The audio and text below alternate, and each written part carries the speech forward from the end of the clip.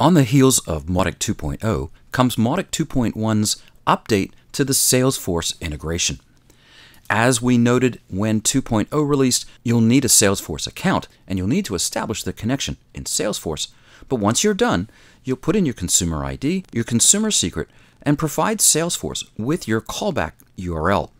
Once the app is authorized, you'll come over to Features and now see that push and pull integration is available as it was in 2.0, but now we can pull contacts from leads, contacts, and activities. So what does this mean? The 2.1 integration pulls contacts and lead data from Salesforce into Mautic. It pushes contacts from Mautic to Salesforce as leads via campaigns and forms, and then keeps the data synchronized.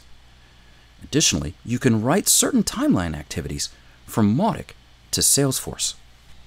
Over here on Contact Field Mapping, you'll now see that leads and contacts are mapped completely in Mautic. Finally, in order to get the timeline activity from Mautic into Salesforce, you'll need to create a custom object in Salesforce. In Salesforce, you'll click on Setup,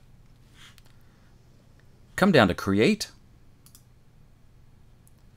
come down and click on Object. We have a couple of examples here in our own Salesforce. If I click on Mautic Timeline,